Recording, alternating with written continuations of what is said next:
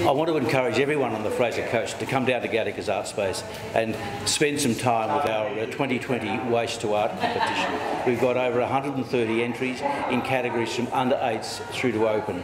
There are 80 something entries in the open category. They are just marvellous. Not only are they wonderful pieces of art in their own right, but they're teaching us the value of recycling, the value of making sure that we avoid uh, landfill as much as we can. So there are lessons to be learned, there's fun to be had, and don't forget, you can put in your entry into People's Choice. The exhibition's on until the 28th of November. We'd love to get as many uh, contributions, as many entries as we can for the People's Choice Award. Look forward to seeing you.